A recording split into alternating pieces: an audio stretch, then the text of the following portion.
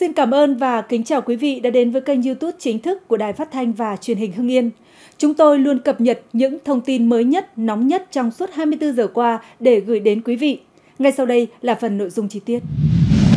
Mới đây, Cơ quan Cảnh sát điều tra Công an huyện Hưng Hà, tỉnh Thái Bình ra quyết định khởi tố vụ án, khởi tố bị can và lệnh bắt bị can để tạm giam đối với 4 cán bộ huyện Hưng Hà để điều tra về hành vi lợi dụng chức vụ quyền hạn trong khi thi hành công vụ, quy định tại Điều 356 Bộ Luật Hình sự năm 2015. Các quyết định nêu trên đã được Viện Kiểm sát Nhân dân cung cấp phê chuẩn.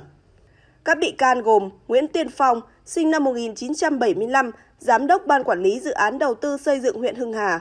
Trần Thị Hải, sinh năm 1977, trưởng phòng Tài nguyên và Môi trường huyện Hưng Hà, Nguyễn Anh Hoàn, sinh năm 1979, Giám đốc chi nhánh Văn phòng đăng ký đất đai huyện Hưng Hà, Trần Đức Quang, sinh năm 1984, lao động hợp đồng không xác định thời hạn tại chi nhánh Văn phòng đăng ký đất đai huyện Hưng Hà, đều trú tại huyện Hưng Hà, tỉnh Thái Bình.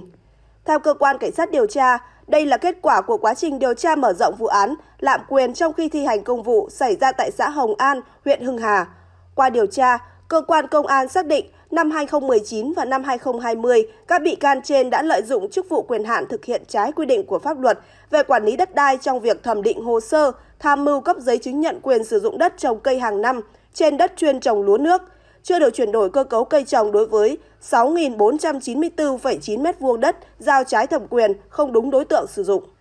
Các hành vi trên đã gây thiệt hại cho nhà nước số tiền trên 272 triệu đồng. Ngoài ra, các bị can còn tham mưu cho phép chuyển mục đích sử dụng sang đất ở không đúng đối tượng sử dụng đối với 2.880,2 m2 đất giao trái thẩm quyền, gây thiệt hại cho nhà nước số tiền trên 1,7 tỷ đồng.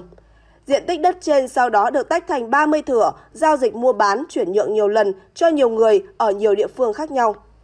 Liên quan đến vụ án này, trước đó Thông tấn xã Việt Nam đã thông tin, ngày 27 tháng 2, Cơ quan Cảnh sát điều tra Công an huyện Hưng Hà đã ra quyết định khởi tố vụ án hình sự, khởi tố bị can và lệnh bắt bị can để tạm giam đối với 5 cán bộ xã Hồng An, huyện Hưng Hà về tội lạm quyền trong khi thi hành công vụ theo khoản 2 điều 357 Bộ luật hình sự. Trong đó có Chủ tịch Ủy ban nhân dân xã Hồng An, Đường Khắc Thủy, Phó Chủ tịch Ủy ban nhân dân xã Hồng An, Trần Hữu Dũng cùng Bí thư chi bộ, trưởng thôn, nguyên phó thôn Bắc Sơn, xã Hồng An.